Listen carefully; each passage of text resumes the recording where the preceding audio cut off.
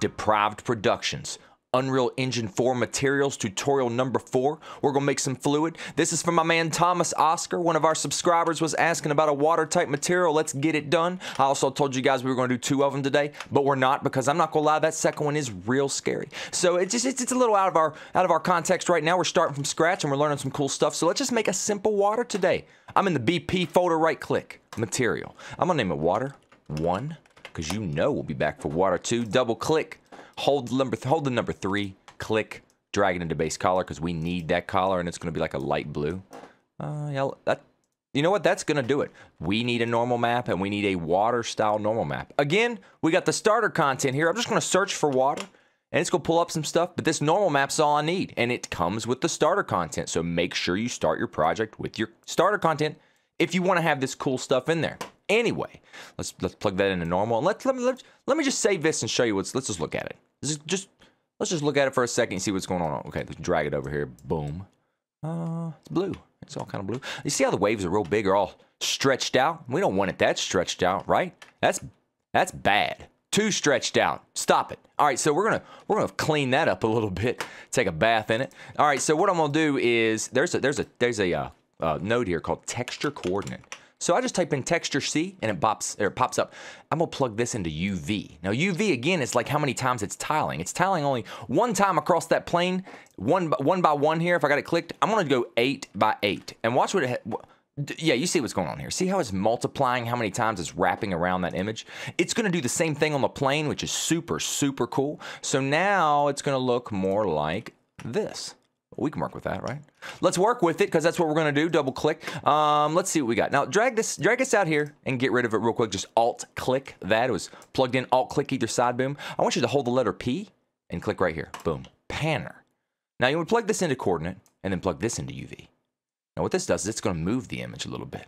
If I put it like one, what's going on now? You know what I'm talking about? But don't do that. Don't don't uh, don't do that. How about a point two here, and then a point one there.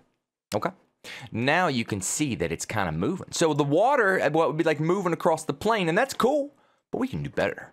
Take these two right here, Control C to copy, Control V to paste.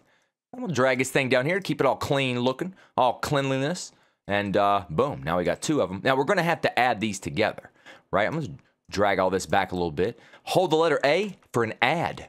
We're gonna add these together, a little math, math, normal math, math. Plug that in normal. Now, the thing is, the panners are doing the same thing. That can't happen. That one's at 0.2. I'm going to go negative 0.15. This one's at 0.2. I'm going to put it at negative, or 0.1, I'm put it at negative 0.2. I'm just changing them. See if they're intertwining between each other? We're going to check it out. We're going to go in here and see what it looks like over this. Oh, okay.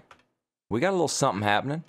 It's a little bright out here, but you see the water. You see the water, Thomas Oscar. You see that water, bro? But I mean, uh, we're, we're going to, we're just a little bit better show you, show a little trick here that I'm a real big fan of.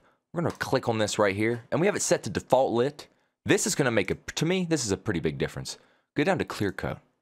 Yeah. You see, uh, see the change it's made there. I'll just check it. Let's go back and look at it now. Go gonna look at it now. Boom. What is going on there? Don't tell. I don't know. I don't know what's going on, but it looks good, right? I'm gonna tell you what else I do. Like I like the light, the way it reflects off of it now. It's like real, real, real rigid and real defined, real defined.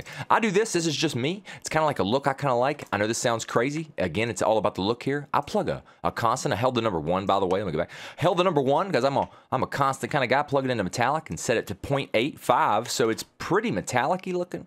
You're kind of like, bro, I don't know, metallic-y fluid. I don't know, mercury or something has that kind of stuff in it. Just I just think it freaking looks sweet. That's just me. I mean, I'm just looking at it. And yeah, I mean, you could adjust the panner and kind of toy with that a little more and kind of, you know, kind of get it the way you want to look. But this is just for for fun. But I mean, dude, tell, that's that's pretty sweet. I'm gonna do one more thing for you, one more cool thing we haven't learned yet. So I got all this down here. It's starting to get a little messy. I'm gonna, I'm gonna get another color. Okay, so copy and paste that guy right here, and I'm gonna make it like a darker blue. Okay, uh, it's pretty vibrant, pretty pretty vibrant dark blue, and then darken it a little bit like that. Now there's a there's a there's a note in here called a Fresnel. R F R E, let's see, F R E S. Let's press enter and boom, it pops up, okay? I'm gonna do the whole lerping thing with this thing. I'm gonna show you what it does. We'll hold L for lerp. We've been doing lerping, you remember the lerps?